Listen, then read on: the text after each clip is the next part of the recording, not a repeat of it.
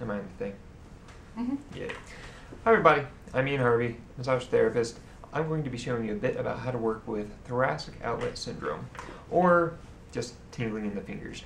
You're going to get this with a lot of office workers and people who have to do a lot of things in front of their body repeatedly for long periods of time. So, office workers, also uh, hairstylists, cosmetologists, things like that.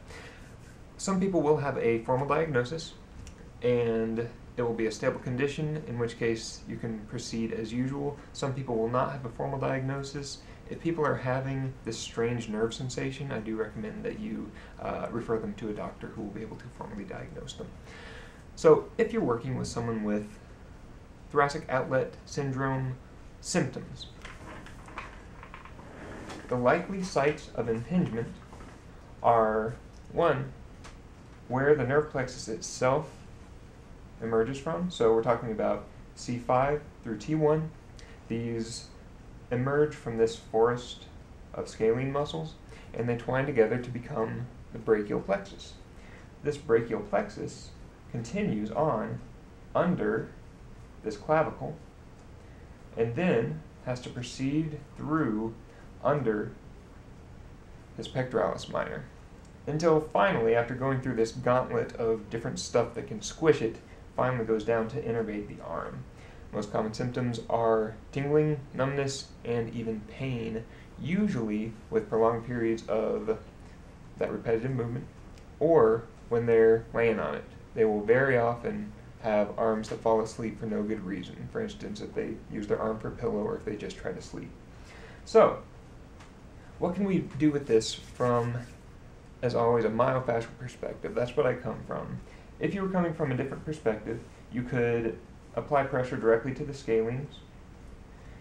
You could apply pressure directly to the pectoralis minor, which we will be doing a bit of. But I feel like the scalenes are easily annoyed. We don't want these scalenes to become uh, even more ticked off than they already are. They're in spasm, they are short, they are hypertonic, and we would like to relieve that.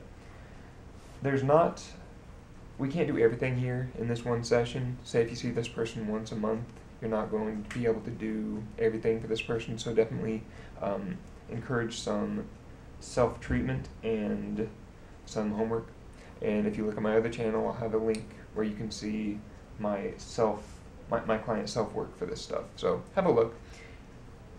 But from my myofascial perspective, I don't want to just hit these scalenes. I don't want to just hit here, hit here. I want to free up this entire shoulder girdle and all of this neck apparatus. So that means coming up above where the impingement site is, going down below where the impingement site is, working with muscles that might not even be involved, like deltoids. Alright, so start slow, warm up the muscles. Uh, I'm currently not using any sort of lotion or oil. Not necessarily necessary. I, I, I find that some people use a bit too much of that stuff. And the glide of the skin tends to be enough to keep you hooked in to that superficial fascia, which is continuous with the deep fascia. So I'm starting with just some general strokes for trapezius. And my thumbs are coming around onto this anterior portion of where trapezius meets up with all of these other neck muscles. And I'm just getting some nice traction to this cervical fascia. I am truncating this a bit. If I was to do a massage specifically for thoracic outlet syndrome, it might be as long as 20 minutes. My warm-up time would be a little bit longer. As always, think origin to insertion and beyond. We're not just working from one tendon to another. We're working far past, we're thinking of that fascia. So I'm not just going to stop at the occiput, I'm going to come up into the scalp a bit.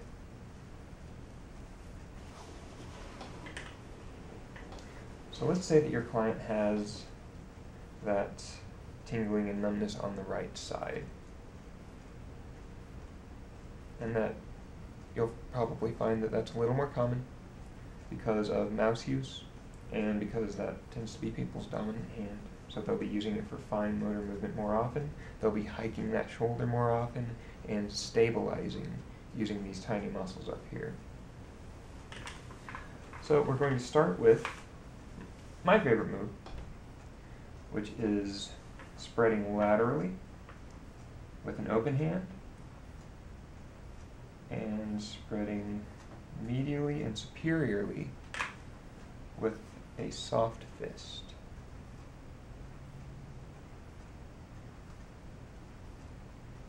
Go ahead and take some easy deep breaths.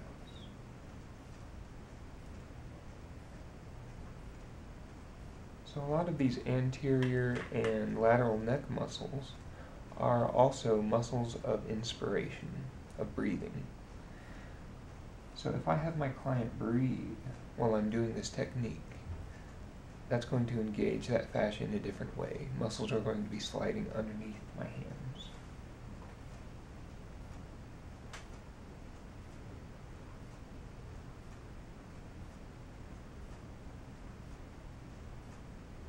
If you're just out of massage school, my recommendations are if you're doing an open fist, I like my thumb out. Just make sure not to jab them in the ear or the eye with it. And any time that you are applying pressure with a palm, you can always incorporate your fingertips a bit and always mold to the surface of the body.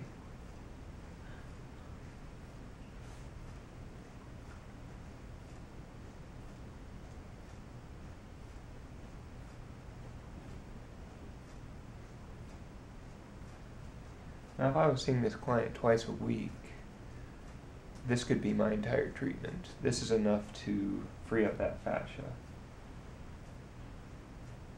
If you're having difficulty emulating this move, notice how I have my elbow um, supporting me over here. It gives me some good leverage.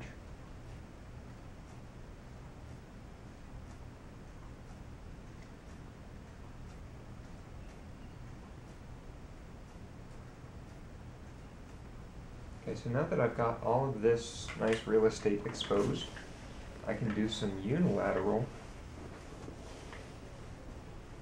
slow petrissage. I can feel under my thumb this tight border of anterior trapezius where it rolls over on itself up here. As I work my way up onto the lateral neck, I can feel myself going over sternocleidomastoid and over levator scapula. And in here, you'll feel kind of a gu guitar string kind of sensation. Lots of little twangy muscles. And these are the scalenes.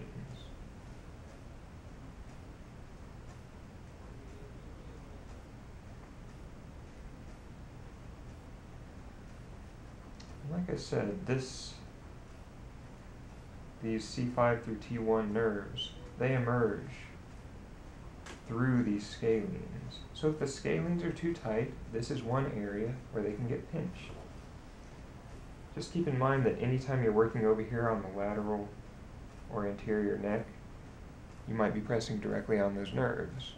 And if you've ever winged your funny bone on something, you know that uh, it's not a nice sensation. So with myofascial release, we're moving at an angle. My pressure is oblique, it's not straight down. If I were to press straight down, I could probably do some pretty good trigger point work in the scalenes. But this oblique pressure works with trigger points just fine, and it's less likely to put pressure directly on those nerves or any of this vasculature that's running through here. There's quite a heavy blood supply that runs right along with that brachial plexus. So all of this slow myofascial petrissage is doing a lot to, one, warm up and loosen up all of this fascia But what if I want to get more into this anterior neck? What if I want to interact with these fascial sheets a little more directly? I'm going to use, it's going to be shaped like a fist, but I'm really using the flats of these phalanges right here. I'm going to start with these flats and move into these flats. It's going to look a little something like this. Restraining the head with just a gentle hand. Applying pressure down toward the table, not so much in toward their neck. For some clients, this can feel um, uncomfortable. It can make the skin feel like it's being ripped off their body. So, track your client's face. Most people it's fine, and I actually love this sensation. A lot of people do. Moving into the flats of my proximal phalanges.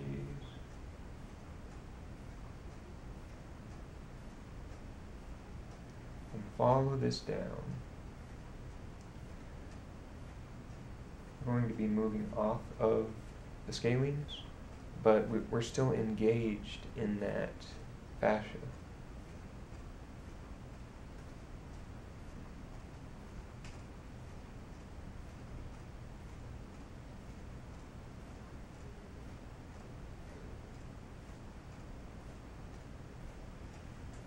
This is just a variant of that move that I showed you earlier.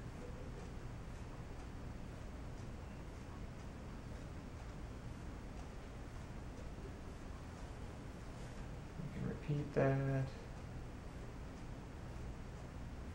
Now what do you do if your client reports that tingling while you're doing this move? I recommend backing off a bit, using less pressure, going slower. Ask your client, is that better? Has that receded a bit? And if not, you may need to go even more indirectly and work with structures that aren't quite so far onto the anterior neck for this session. For future sessions, may be able to work more and more onto this anterior neck.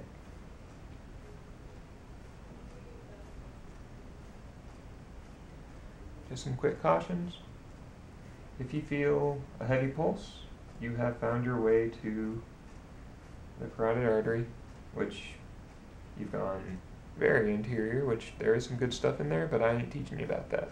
So uh, you might want to take a CU course on working on things that are this far forward. You might feel some lymph nodes over here. I'm palpating one right now. Just slide right over them. If you are working broadly enough and obliquely enough, that lymph node is just going to not care. You're just going to glide right over it. It's going to be fine. Just don't think that this is a knot. Don't do that. All right. So we've warmed up this anterior neck. And now I'm interested in following this brachial plexus as it dips under the clavicle. So, I'm going to use the flat of this phalanx, slide it under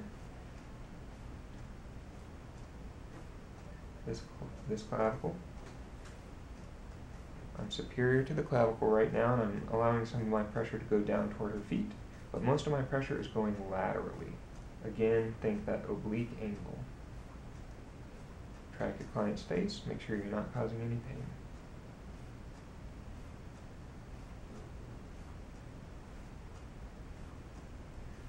While I'm continuing this, with this move, let's talk about some more strategies you can use. We're going to work on pectoralis minor in a bit, but definitely think about pec major. Pec major and all of this fascia up here is pulling the shoulders inward and forward.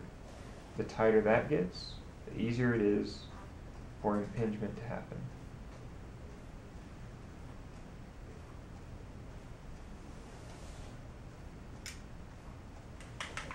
Alright, let's work with this tissue just below the clavicle.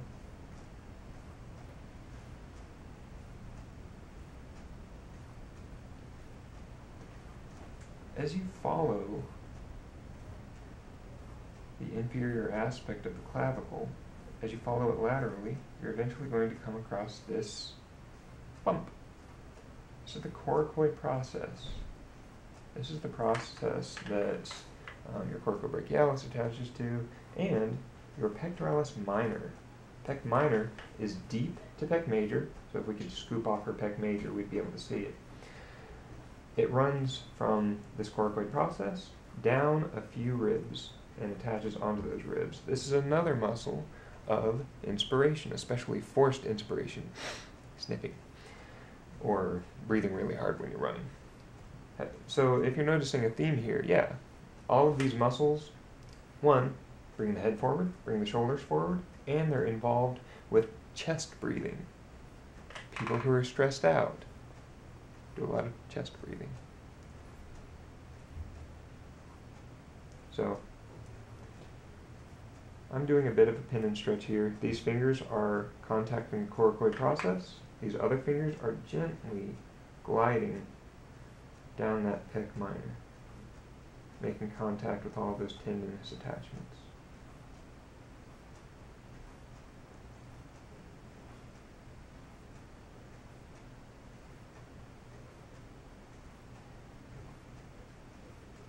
I like to occasionally slow down here and maybe stop completely. You can follow a trigger point chart to figure out where you should stop, or you can follow your intuition. Really, it's just nice to slow down on pec, ma- on pec minor sometimes.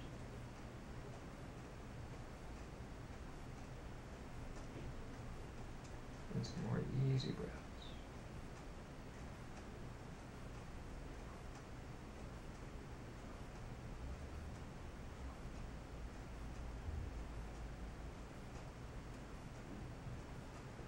Okay, now we're going to play with the angle of the shoulder a bit. Okay, so if I want to really free up this tissue, first of all, we've done a lot of good stuff up here. I think that that is where the likely impingement sites are, but I don't want to ignore everything else that attaches to this shoulder and that could potentially be helping with all of that forward and down tension. So let's get this shoulder joint moving a bit anytime that you work on, anytime that I work on the shoulder, I like to have a hand resting right here. Uh, if if you have a good therapeutic relationship with your client, that shouldn't be a problem. Just make sure that this is within their comfort comfort level. But with this arm here, anything that you do to the shoulder involves a little bit of movement at that shoulder. We're changing the angle as we work. So I'm going to cradle this shoulder. And I'm starting with just some nice mobilization. I'm not really sliding over skin. I'm doing some deep friction where I'm sliding skin over underlying structures. So we're freeing up that deltoid, freeing up that pectoralis major where it inserts onto the humerus. You can come back up onto the trapezius a bit and get some traction in there. If you really want to free up that trapezius, you can slide a thumb under its leading edge and unroll it just a little bit, coming up into the neck.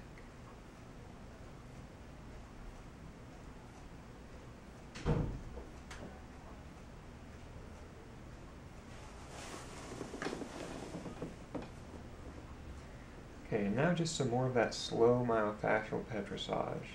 My fingers are gliding. I know it looks slow. It is slow. But when your client gets up, all of this is just going to feel incredibly free.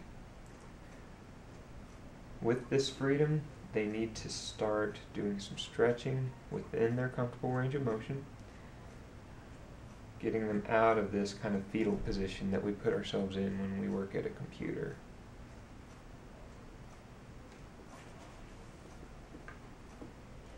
Every time you rock back and forth, you are changing just by 15 degrees or so what's happening in this joint capsule.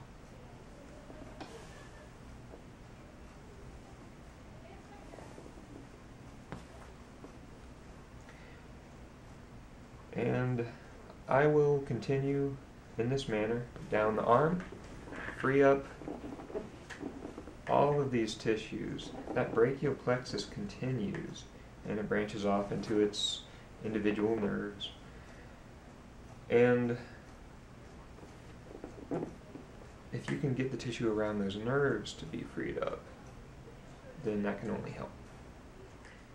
Okay, again, I'm going to work broadly. I'm not just going to work those sites where the impingement might be. I'm going to work up here. I'm going to work all down here. You can even work in the back some. Course you can. Uh, just don't become too focused because that can be a little too much for these sensitive tissues. So let me know what you think. Leave me some comments. Consider subscribing, and I'll see you next time.